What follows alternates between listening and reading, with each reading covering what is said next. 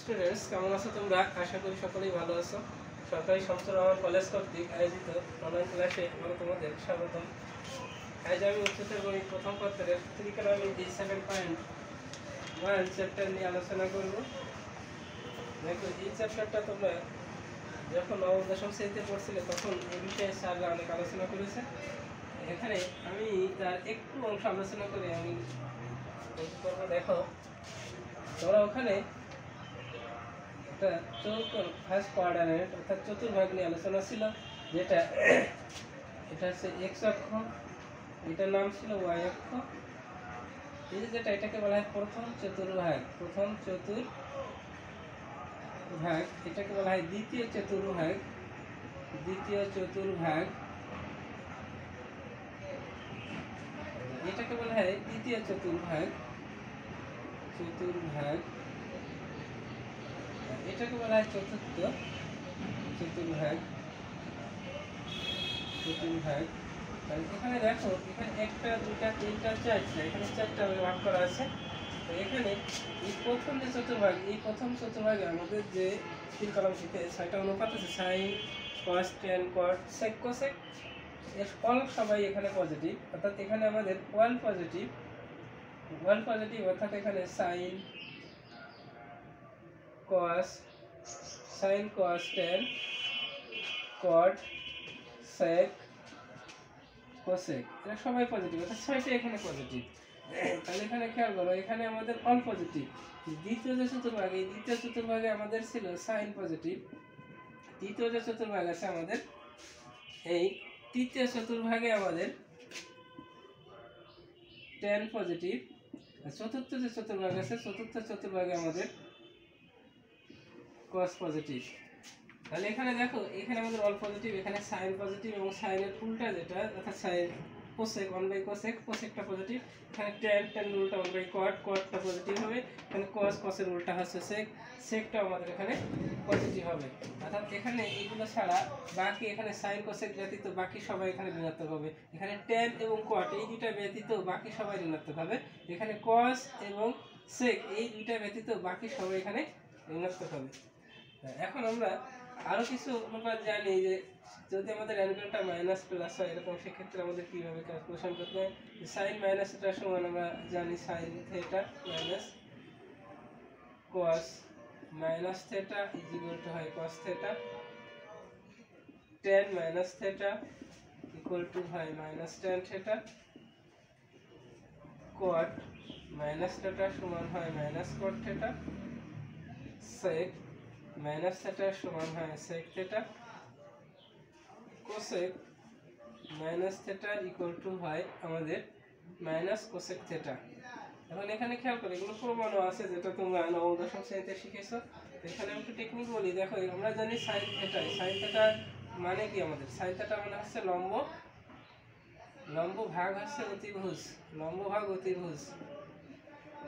Sine theta মানে লম্ব ভাগ অতিভুজ। Cos থিটা মানে হচ্ছে ভূমি ভাগ অতিভুজ tan থিটা মানে লম্ব বাই ভূমি cot থিটা মানে ভূমি বাই লম্ব। sec থিটা এটা মানে আমার আমাদের ভূমি বাই অতিভুজ cosec থিটা এটা মানে অতিভুজ বাই লম্ব। এখান থেকে, আর এখান থেকে sec থিটা এটা সমান হচ্ছে অতিভুজ বাই ভূমি। এখন এখানে তাহলে খেয়াল করো, আমাদের যেগুলোর সাথে লম্বের সম্পর্ক আছে সেটা আগে মাইনাস হবে। যেমন sin থিটার সাথে লম্বের সম্পর্ক আছে মাইনাস থাকবে। Cos মাইনাস এর সমান cos থিটা দেখো, এখানে কিন্তু এর সাথে লম্বের সম্পর্ক নাই। কারণ cos theta সমান, আমরা জানি ভূমি ত্রিভুজ, এর সাথে লম্বের সম্পর্ক নাই। তখন এটা প্লাস আছে। Tan থিটা এই tan থিটার ক্ষেত্রে tan মাইনাস এর সমান মাইনাস tan হবে কারণ এর সাথে লম্বের সম্পর্ক আছে। দেখো, tan থিটা মানে আমরা জানি লম্ব বাই ভূমি ঠিক সেম একইভাবে cot থিটা এই থিটার ক্ষেত্রেও আমরা জানি ভূমি বাই লম্ব, অর্থাৎ এর সাথে লম্বের সম্পর্ক আছে তাই থাকবে। sec থিটা এই ক্ষেত্রে আমাদের এই যে sec মাইনাস থিটা সমান, এই ক্ষেত্রে দেখো লম্বের সম্পর্ক নাই, কারণ এই ক্ষেত্রে আমাদের অতিভুজ বাই ভূমি তার মানে এর সাথে লম্বের সম্পর্ক নাই, যার কারণে sec মাইনাস সমান plus sec theta cosec minus theta এটা সমান অতিভুজ বাই লম্ব, লম্বের সম্পর্ক আছে এক্ষেত্রে মাইনাস হবে।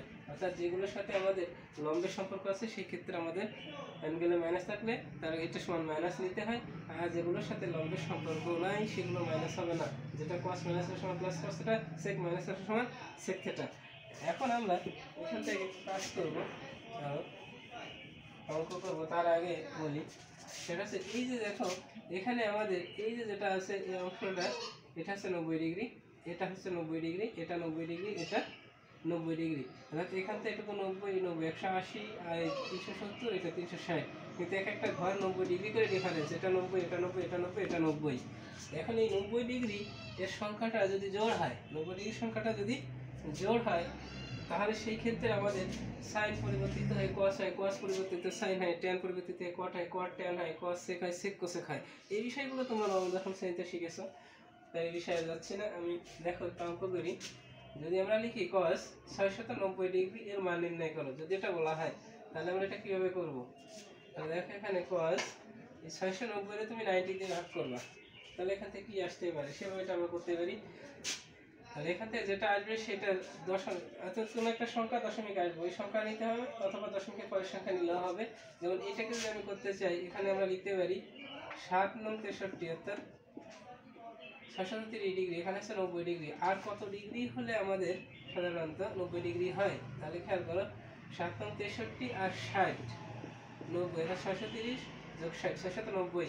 আর এখানে এই ছয়শো নব্বই, এটা যদি নাইনটিতে ভাগ করো সেভেন পয়েন্ট সামথিং আসবে। অর্থাৎ আমি সেভেন ইন্টু নাইনটি ডিগ্রিতে কাজ করতে পারব। অথবা সেভেন পয়েন্ট সামথিং অর্থাৎ এর পরবর্তী পূর্ণ সংখ্যা এইট আমি এইট নিয়ে এটা কাজ করতে পারি। আমি এইট গুণ নাইনটি ডিগ্রি অর্থাৎ আট নং বাহাত্তর, সাতশো বিশ সাতশো বিশের থেকে তিরিশ বাদ দিলে হয় ছয়শো নব্বই মাইনাস তখন হবে থার্টি অর্থাৎ আমরা দুইটা প্রসেসে করতে পারব। এখন এখানে দেখো সেভেন আছে। সেভেন বিজোড় না বিজোড়? এটা বিজোড়। বিজোড় হলে কস পরিবর্তিত হয়। কসের অনুপাত পরিবর্তিত হয় আমাদের সাইন হয়ে যায়। আর এখানে প্লাস অথবা মাইনাস যাই থাক না কেন, এরপরে যেটা থাকবে, এটা আমরা এখানে লিখে দেবো। এখন আমাদের এই জায়গাটা কি প্লাস হবে না মাইনাস হবে সেটা আমাদের দেখতে হবে। আমরা দেখো এখানে সেভেন ইন্টু নাইনটি ডিগ্রি অর্থাৎ নাইনটি ডিগ্রিতে আমরা এই চতুর্ভাগে সাতবার ঘোরাবো। এক্স অক্ষ থেকে ঘড়ি কাটার ঘূর্ণনের বিপরীত দিকে আমরা ঘুরবো, সাতবার নাইনটি ডিগ্রি দেখো, একটা নাইনটি ডিগ্রি দুইটা, তিনটা, চারটা, পাঁচটা, ছয়টা, সাতটা। এরপরে প্লাস ষাট ডিগ্রি অর্থাৎ এইখানে আসে। আর এই যে চৌকোন আছে এখানে কিন্তু আমাদের কোয়াস এবং সেক ধনাত্মক এখানেও আছে কোয়াস এটা দেখলে হবে না কিন্তু, এখানে দেখতে হবে, এখানেও আছে কোয়াস অতএব এটা প্লাস অতএব প্লাস প্লাসটা দেওয়া লাগে না।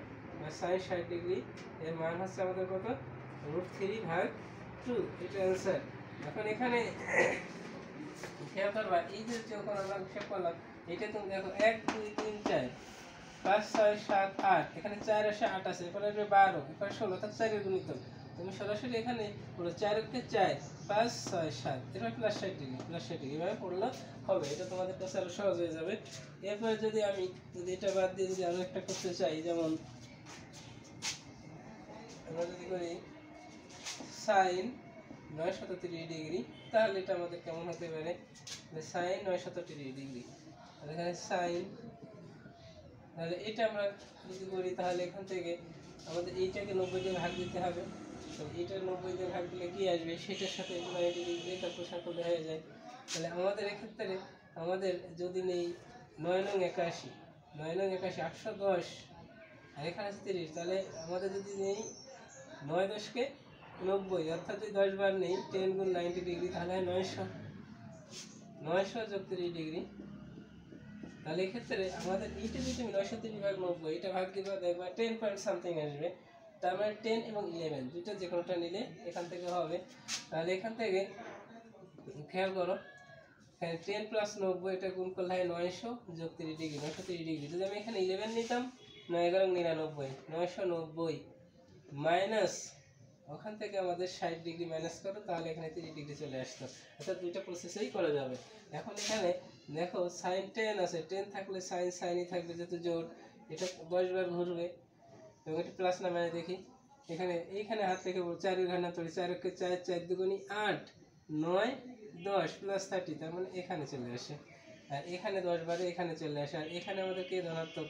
টেন ধনাত্মক। এখানে তো সাইন ঋণাত্মক। টেন আর কর ধনাত্মক, তার মানে এটাকে মাইনাস হবে। এরপর এখানে কি আছে প্লাসের পরে? তিরিশ। প্লাস মাইনাসের পরে যাই থাকবে, এটা আমরা লিখে নেব। তাহলে এখান থেকে মাইনাস সাইন থার্টি ডিগ্রি মান হাফ এটা আমাদের হয়ে গেল। ঠিক একইভাবে এইভাবে আমাদের ক্যালকুলেশন করতে হবে।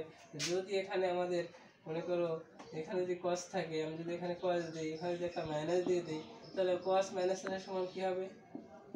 কস থেটা আর যদি সাইন মাইনাস থাকতো, এখানে মাইনাস সাইন আসবে। এরপর এখানে কি হবে? কস বাকি যা আছে সব ঠিক থাকবে। এবার এটা যেহেতু জোর কস কসই থাকবে, এটা কত নম্বর সেখানে যাচ্ছে একটু আগেই দেখলাম, যার একটা চার চার আট, নয়, দশ প্লাস সামথিং এখানে। তার মানে এখানে তেরো পর্যন্ত কস তো কত মাইনাসই থাকবে। কস থার্টি ডিগ্রি তখন সেই ক্ষেত্রে answer হবে রুট থ্রি বাই টু আশা করি এই ধরনের অঙ্ক তোমরা পারবে। এগুলো প্র্যাকটিস করবে। আজকের মতো এই পর্যন্তই। আল্লাহ হাফেজ।